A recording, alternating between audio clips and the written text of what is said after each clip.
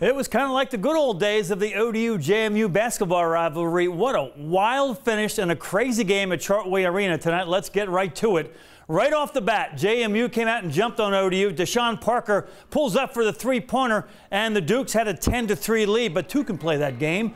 Marquise Godwin on successive trips down the floor did this drained a three-pointer, and ODU had a 20 to 13 lead. Dukes came right back, evened it up. But here comes Jason Wade. He finished with 16. Strong game for him. Backs it down, gets fouled. It was tied at that point.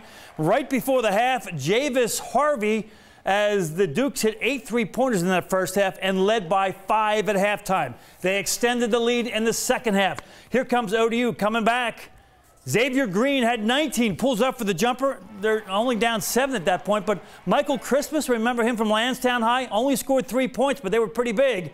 This three-pointer gave JMU a 12-point lead. And then Darius Banks hit back-to-back three-pointers, another one here. And the Dukes had a 15-point lead with four minutes to go in the game, but they started missing three throws.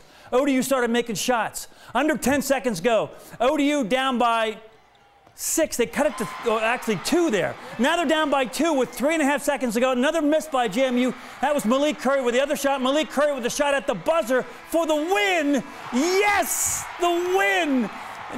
Where was it? Upon further review, as we looked at the replay, the ball was still in his hands when the light turned red. They waved it off.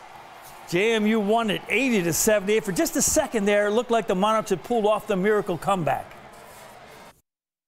last few minutes of the ball game, I feel like we fought. We fought at the end of the day. We came up short. What's the feeling when you think it's in and they tell you it's not? Like a heartbreak. That hurt. That definitely hurt. Losing's never fun, and uh, you know we, we didn't play very well, so it's it's disappointing. It feels really good because of last year how bad we lost to them and how we gave up on them, but this time we fought to the end and we deserved to win, like I said. It's a really huge win. I'm thankful for my guys and for my staff for staying the course and, uh, and, and, and, and trusting in what we're doing and being able to go out there and execute and win a game like this.